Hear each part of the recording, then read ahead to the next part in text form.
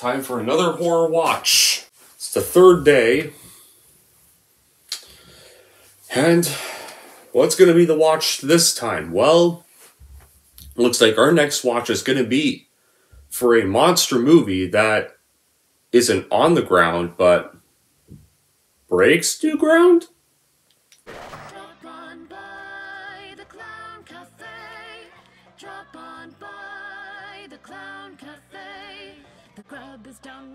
But your appetite's obey.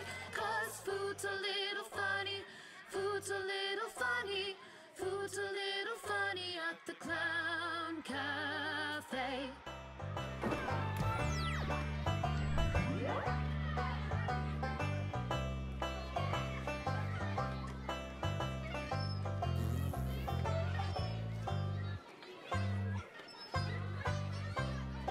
Drop on by the Clown Cafe, your favorite meals on wheels. The menu is disgusting and it's full of special deals. Nothing here is good for you, so grab yourself a tray. Cause food's a little funny at the Clown Cafe. Drop on by the Clown Cafe. Drop on by the Clown Cafe.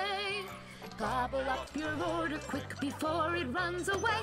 Cause food's a little funny at the Clown Cafe. Why not visit after school and have yourselves a bite? An appetizing appetizer certain to delight. We haven't done it right unless it makes your teeth decay. Cause food's a little funny at the Clown Cafe. Drop on by the Clown Cafe. Drop on by the Clown Cafe. The grub is downright gruesome, but your appetite's obey. Cause food's a little funny, food's a little funny, food's a little funny at the Clown Cafe.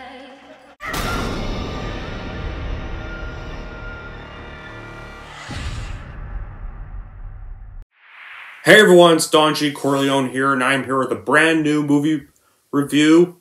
And this review is going to be episode 3 of Halloween Horror Movie Reviews Season 4. So, what's the episode going to be this time? Well, this episode is not a requested movie, it was a movie I thought of myself. And from what I've heard, this is another one of Empire Fan Productions' favorite films of all time. And uh, it's not a huge grosser. It's not a film from Steven Spielberg. It is a campy monster flick. And this is a monster flick that's set underground, not on the ground. And it's also spawned a lot of sequels. And it stars Kevin Bacon. That film was going to be for none other than 1990's Tremors. So, what's the plot of this movie? Well, a small town gradually becomes aware of a strange creature which picks off people one by one. But what is this creature and where is it? At the same time, a seismologist is working in the area and she detects tremors. The creature lives underground and can pop up without warning. Now trapped in their town, the townsfolk have no escape. So that's the plot the movie. How is this movie made? Well, the concept of Tremors was conceived originally in the early 1980s when writers S. Will, S.S. Wilson and Brent Maddock were working in the United States Navy as filmmakers in charge of creating educational safety videos. And while getting footage, the two climbed a large desert boulder and asked the question, what if there was something that wouldn't let us off of this rock? And that inspired the two to start brainstorming ideas for a monster movie, which was originally going to be dubbed Land Sharks. And they shared their idea to their friend Ron Underwood, who was working with National Geographic as a documentary director and used his knowledge of zoology to better develop the land sharks into creatures that could realistically exist. And after their script for another film they were involved in, Short Circuit, spawned to be a major box office hit, Wilson and Maddock quickly began quickly began shopping around their idea for Tremors. The name Land Sharks was changed owing to a then popular Saturday Night Live sketch featuring a character of the same name. The original screenplay, which was titled Beneath Perfection, was finished in June 1988. Then when it came to filming Tremors, filming began in early 1989 and it lasted over 50 days. Principal photography took place around Lone Pine, California, and the isolated community of Darwin, California, which the crew liked because of its similarities in the fictional town Perfection, Nevada. The town, which was entirely a set, was built near Olancha, California. The, mountain in the, the mountains in the distance at the Sierra Nevada and Owens Lake is visible in the background during the film's climax. When it came to the creature design, the creature for Tremors was designed by our Amalgamated Dynamics, and the full-scale gra- graboid seen after being dug up by Valve's gas and lightweight foam. It was placed in a trench and buried and dug up to achieve the desired used effect. So, after the film, Tremors was completely finished and marketed. Tremors would go on to be released by Universal Pictures in January 1990, and it is and it would go on to be the first installment of the Tremors franchise because this movie got followed by five direct-to-video sequels and one prequel. And that was Tremors 2 Aftershocks in 1996, Tremors 3 Back to Perfection in 2001, Tremors 4 The Legend Begins in 2004, Tremors 5 Bloodlines. What's with all these five movies and horror franchises being called Bloodlines in the 2010s? There was Wrong 5 Bloodlines and then Tremors 5 Bloodlines. Then Tremors A Cold Day in Hell 2018, then Tremors Shrieker Island in 2020. And a television series titled Tremors, the series aired from March through, through August of 2003. The second television series was even going to air in 2018 after a pilot had been shot with Bacon reprising his role for the first time since the first film. but multiple networks, including the Sci Fi Channel, passed on the series. And at the box office, the movie was only a monster hit at the box office. But that didn't stop Tremors going on to become a massive hit on home video purchases, rentals, and television, becoming, and it became one of the most rented films in 1990. And because of this, it's gained a very large cult following over the years. As for my reaction, well, I've already said, guys. I heard a while back this was one of Empire Fan Productions' favorite movies of all time, and favorite monster, and one of his favorite monster movies of all time.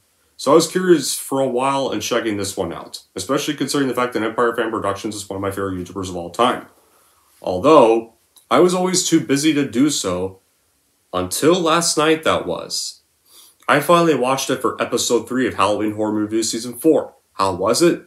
It's a masterpiece! In every way. I can definitely see why Empire Fan Productions really loves this film, and quite a few other YouTubers I like really love this film. If you're looking for a good monster movie, Tremors is another great one. But if you're looking to be scared, you'll be disappointed. It took a lot of creativity to pull off what they did in Tremors. They took this seemingly unrealistic situation with these giant worms and they made it believable. The cast performed as if they were in a real life situation being chased by these big worms, and then you cheer along with them and feel their frustration. The special effects that were pulled off almost flawlessly, making the movie just that much more believable. Tremors is often reasonably described by many to be a cult, cult classic, which is odd because the fact is, cult films usually have a quirky quality to them that separate them from the usual Hollywood Sherman's machine. So other films like Reanimator, Iter, another film which has oddities and bloody quirks that average viewers might find re- repel- repellent, but Tremors isn't the slightest bit offbeat. It's made a full Hollywood style with predictably happy ending to boot. So what makes it a cult classic? Could it be that it's successful mixing almost every genre into the proceedings, or that it's great entertainment that simply didn't get the box office reception it deserved? Perhaps both. Because this is one movie that always puts a because this is definitely a movie that upon first watch put a smile on my face. It got it definitely got my self pounding every time I watched it. And the plot is similar to that of the monster films of the oldies, like old days, like Valentine McKee, played by Kevin Bacon, and Earl Bassett, played by Fred Ward, are two handymen trapped in a small town of Perfection, Nevada. And they have dreams of making it big, but their ambitious goals always seem out of reach. And just when they do decide to finally leave, discovery of dead bodies, both human and animal, keeps them there for just a while longer. There's also the road, which has been blocked off by a large boulder. And one and on, in one hand, to study some strange seismic activity is Rhonda, played by Finn Carter, a grad student who helps McKee and Bassett come to the realization that both the dust and the odd vibrations to the ground are connected. It turns out to be the work of giant 30 foot worms, four of them to be exact, and they trap the townspeople perfection in their homes, so including gun happy World War III prepared couple Burt and Heather Gummer, who are played by Michael Gross and Reba McEntire the center, and the rest of the film becomes a desperate scramble to outsmart the worms and get out of the town alive. And the first thing noticeable about Tremor is probably because of how it's obviously inspired by 50s monster flicks, and the great thing though is Tremors plays itself as a comedy, preferring laughs over scares. And it's a wise decision since if the film took itself seriously, it would have probably been a major detriment. Detriment. The laughs aren't cheap either, as they result from witty dialogue and new twists of the monster subgenre. The great chemistry between Bacon and Ward brings the most humor to the film, and playing best friends with little education but plenty of smarts. And there are two performances that are hoot to watch. And it, it's a shame they didn't really they don't reunite in Tremors 2, apparently. Apparently, Kevin Bacon's character doesn't come back for the sequels. Apparently, I've heard most of the, the rest of them is just Fred Ward's character. But in addition to the laughs, there's also the action, which is frenetic and exciting. Director Ron Underwood gives the film a lighting pace and 95 minutes seems to just roll by. The fun action consists of a lot of running and get off the ground moments, and for the last 45 minutes, Tremors is almost full of non-stop excitement, and it's surprising to see that the action never gets tiresome nor dull for a single moment. The movie is definitely not scary or frightening at all, but it's with suspense and thrills this sharp. Who, who really cares? Because, besides, this film's not intended to be scary at all. That's hardly the film's intention. There's there's usually two ways to make a good monster movie: slow-paced and suspenseful, or fast-paced and surprising. Tremors definitely opts for the later for the latter method. The producers almost managed to assemble an excellent cast, all of whom established their individual characters with admirable clarity. And only Mindy, the young girl, comes off as kind of a cipher. Plus, the exception of Kevin Bacon and Michael Gross, they all look like real people. The spotlight even gets shared out pretty equally among the cast as well. And one particular nice touch was the fact that our two main heroes weren't the only people in town to have any com- competency at all. Like Fred, Fred Ward, Kevin Bacon are the two that really carry this movie. But it's more because of the great screen chemistry between them. Miguel has the better ideas, and Birkin contributes more to the actual destruction of the monsters. And while Tremors definitely never really cheats the audience, such as set up a situation and then not really deliver, the movie does very teasingly from the expected. One of the aspects I even enjoy the most about showing this film for first time viewers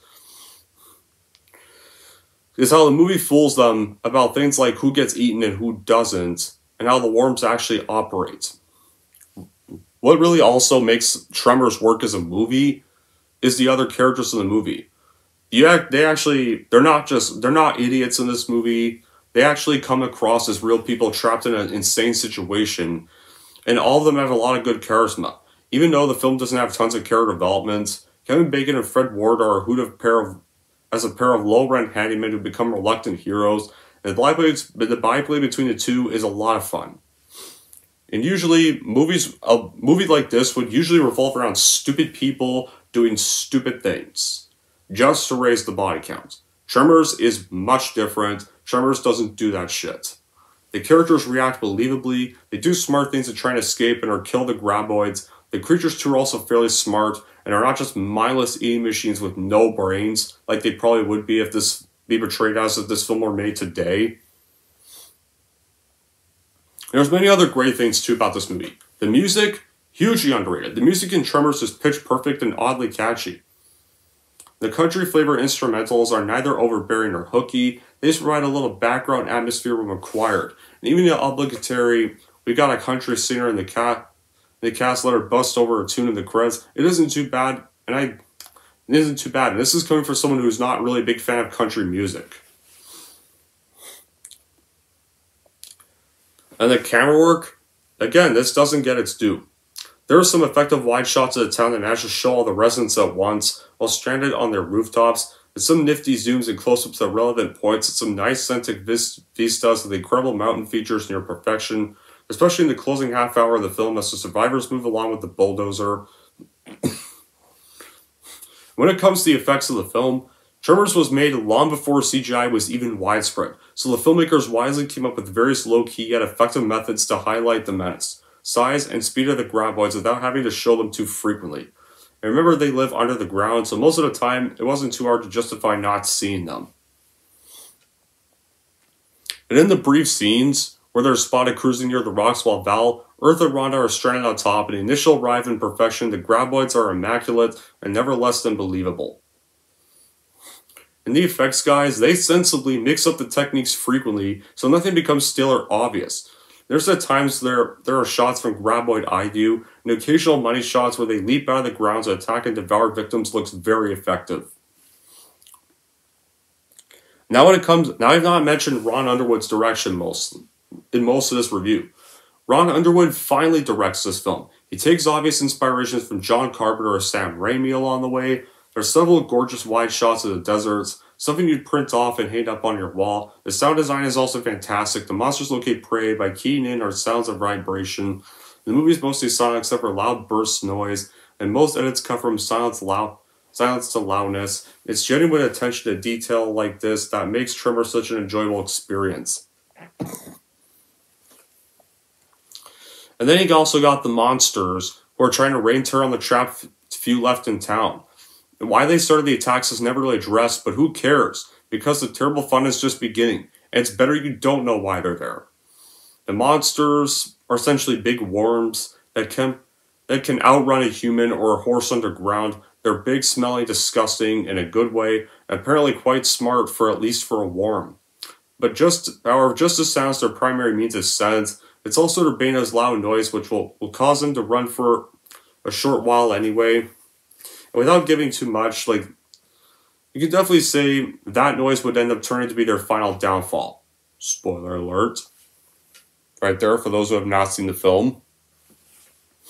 And much of the fun with this film comes from the verbal pot, pot shots that nearly everyone takes at each other. Val Earl are working buddies and very brother-like and are therefore compelled to rib one to rib one another at the other's expense fence, although they are always there for each other too. And the opening of the film sets the mood for the rest of what forsake my word for it, or definitely watch for your although you definitely gotta watch this movie for yourself to know more. Oh, wait a minute. The gore factor. I almost forgot about the gore factor. Well, me. Well, it is a horror monster movie, and so there is to be some. That being said, I'll definitely tell you that the blood and guts are mostly from the giant worms, not really the victims, or as they call them, the graboids. And they're not really all that realistic. Messy, yes. Real, no. Also, it's usually all being done in good humor and under the good guy and bad guy war, worm theme, so everyone will catch on virtually. And how's this epic? How's the finale of this movie? Hell, I think this film has one of the most epic finales of any monster movie because how the finale goes is after our three leads return to town, the worms attack and kill gen- the general store owner Walter Chang, forcing everyone to hide on the town's various rooftops.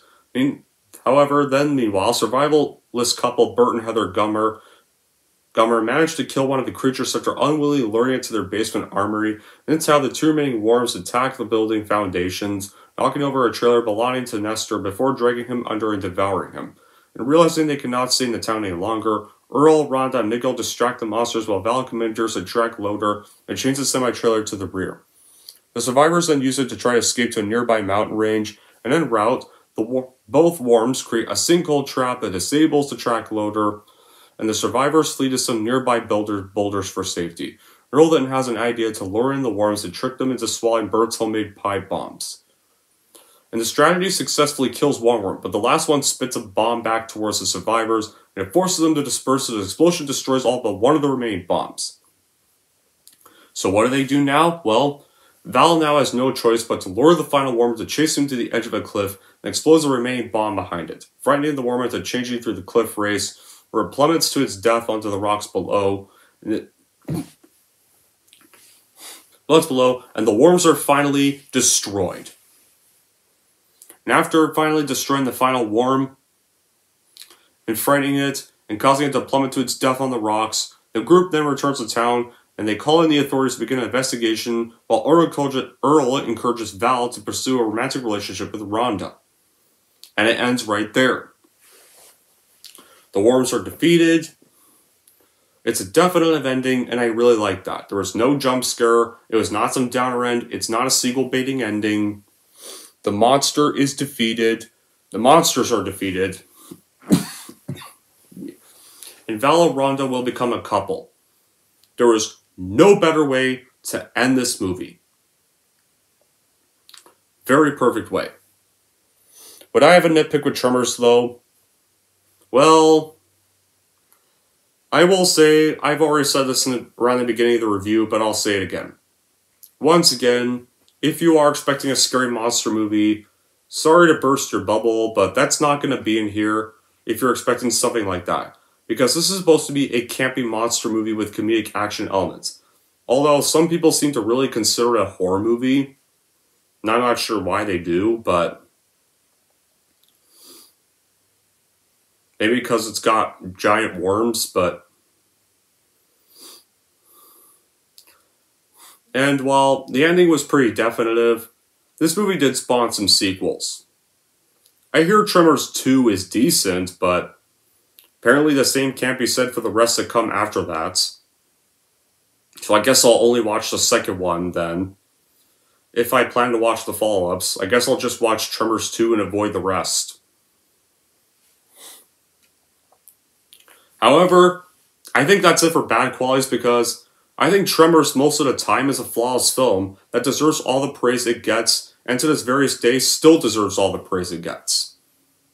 So in the end, I would highly recommend watching and buying Tremors for your Blu-ray shelf, because it is that phenomenal the whole way through. Anyways, that's it for my view of Tremors. You're wondering how I'm going to rate Tremors. Here's how I'm going to rate this movie. So overall, if you are a fan of campy B monster movies or 90s monster movies in general, then I would highly recommend watching and buying Tremors, no doubt, because it deserves to be a part of your collection without a doubt. And if you're wondering how I'm going to rate Tremors, I'm going to give Tremors a damn 10 out of 10.